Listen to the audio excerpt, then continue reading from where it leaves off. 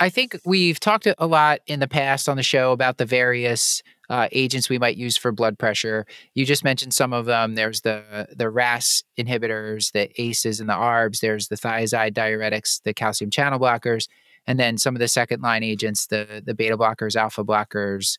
Um, hydralazine. I know, I know that's a favorite of yours, uh, Jordy. I love by Shoot myself in the head yeah. right now. yeah, yeah. We have a lot of we have had a lot of episodes this year. By the time this comes out uh, on MRAs and nonsteroidal MRAs, the the those so those agents. But if somebody, because we see this a lot in clinic, the patient that just seems to be really anxious and their blood pressure is high, and how do you handle that situation? Maybe uh, maybe both with treatment and just making sure that it's not just they're anxious in clinic. Can you talk about yeah. that? And so I get a lot of these patients referred to me in my complex hypertension clinic because their primary care providers have been sort of at a point of I've tried several medications and there's clearly an anxiety component and I don't know what to do. And so I get asked a lot, do I treat the hypertension when we know it's due to anxiety? And my response is I'd say that nine out of 10 of these patients, no one's ever said, Hey, how is your anxiety doing? Like, do you feel that this is a factor? And just asking them and getting their insight into it can really open a lot of doors.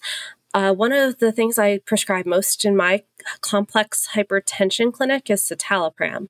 Uh, it's incredibly effective at improving blood pressure, especially labile hypertension in people in whom there's an anxiety component. And many of them didn't realize there was an anxiety component until someone asked them. And sometimes it takes two or three visits to get that out and for them to finally trust you and realize that you're listening to them and caring about what they're dealing with. Uh, but it's so worth it because it, we, I just see incredible benefits from it.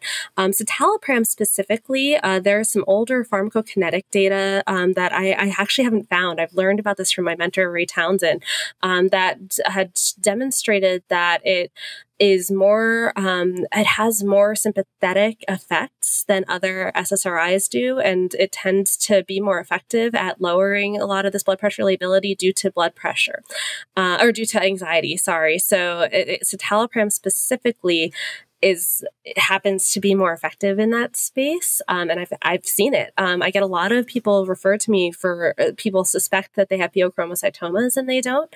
Um, and that they've had metanephrines that are borderline elevated or maybe under, uh, we, we require metanephrines to be two and a half times the upper limit of normal or higher to really consider it a diagnosis of pheochromocytoma.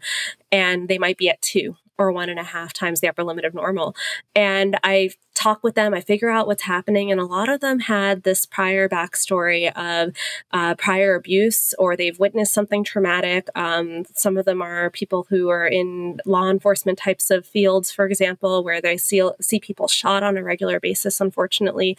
And this this type of a person it's almost become a phenotype that i see in my clinic where uh, talking to them about it uh, suggesting therapy and if they'd like considering pharmacotherapy uh, really can help a great deal with some of these paroxysmal hypertension episodes including ones that have caused target organ damage like strokes uh, and and can actually really help to get that under control. Often you need an antihypertensive medication as well but uh, I've, I've had a couple of instances where all they needed was the ssri this is fascinating. Paul, have you heard like I yeah, I think I, I, I this, read Dr. Cohen, correct me if I'm wrong, but I feel like I've heard some proposed, like, you know, you hear socioeconomic status or lower socioeconomic status cited as a risk factor for hypertension. Obviously, yeah.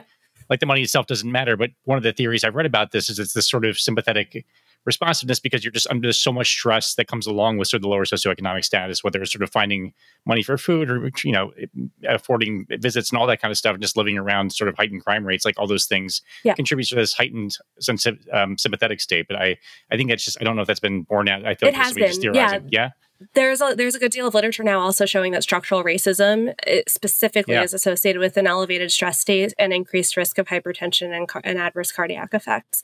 So there's that this is being shown. Um, we're seeing this in a few other disease states as well. Uh, but this this stress of dealing with certain factors can definitely in itself cause these types of health issues.